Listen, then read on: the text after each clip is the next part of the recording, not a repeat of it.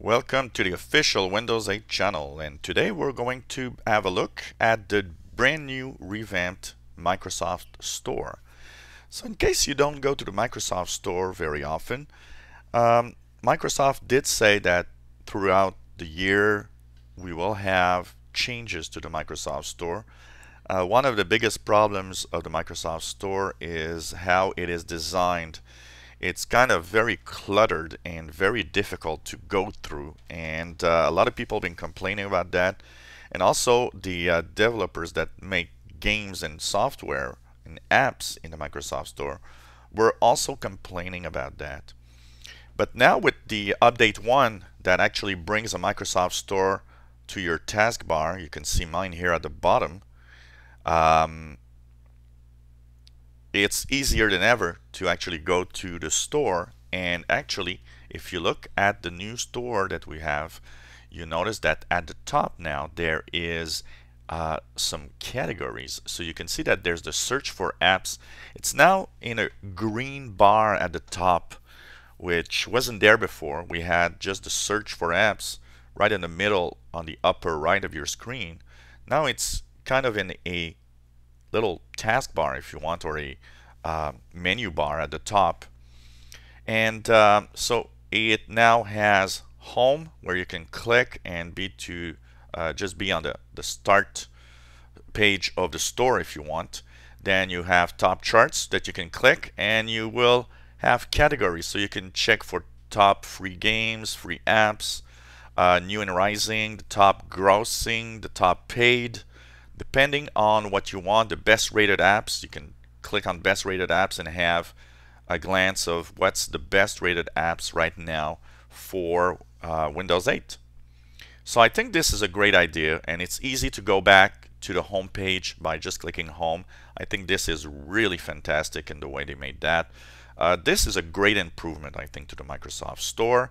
Of course you have your categories that you can go at the top you're looking for something in a category, you just, for example, health and fitness, you'll just click there. And basically you'll have all the health and fitness apps, for example, here. You also have collections. Uh, collections is basically um, apps from a certain category that they'll actually put together and um, one of the reasons they did collections is the fact that um, first of all people that buy one app or one game are probably inclined to buy other apps of the same category or in the same collection. So that's why they put everything and group them together. So you can check for that and see if it goes well with what you would like to have actually. So um, and the last thing is account where you have all the details of your account and uh, an easier way to actually modify any uh, information in your account. So it's uh, quite interesting and uh, you can see my apps. This will show up every app that you've downloaded, paid for, everything is going to be there and my account will be everything about your account if you have to uh, make a change. One little annoying thing about the fact that the green menu bar at the top of the store is at the top.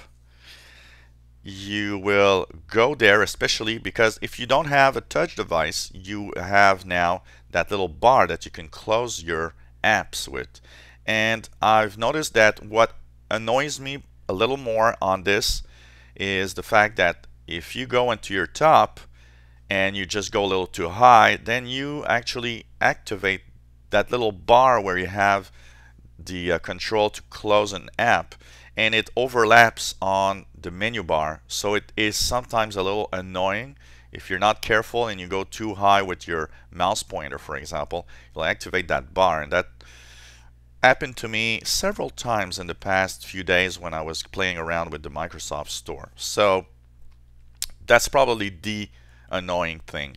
But apart from that, I think they've improved it a lot. You still have your you know categories that you can check through on the screen but they really really are making the Microsoft Store better all the time and easier to navigate through uh, that was a problem missing the home button because you'd go into categories, you check for stuff, and then you'd have to, you know, just go back or close it and restart it to try to come back to the home page.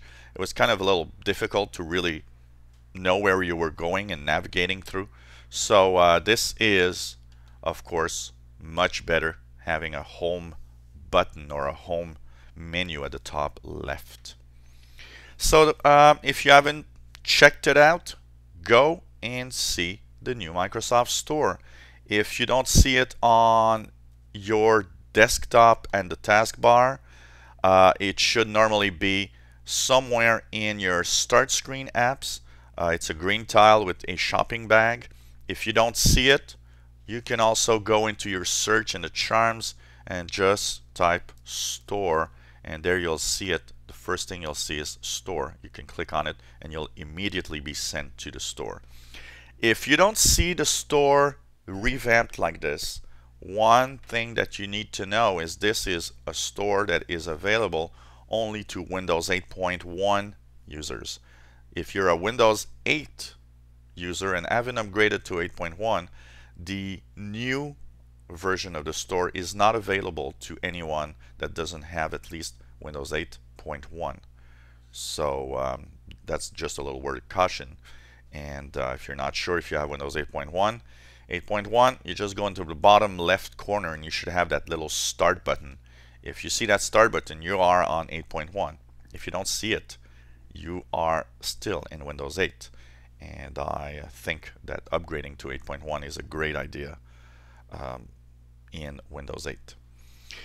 If you enjoy our videos, why not subscribe to our channel? You'll be informed when new videos are online. If you have any comments or questions on what you've seen, let us know. And uh, maybe you have an app, maybe you have something or feature of Windows 8 you'd like to see, let us know and we'll try to put that video online and help you. You'll be helping others at the same time. So thanks for watching and hope to see you again on the official Windows 8 channel. Bye-bye.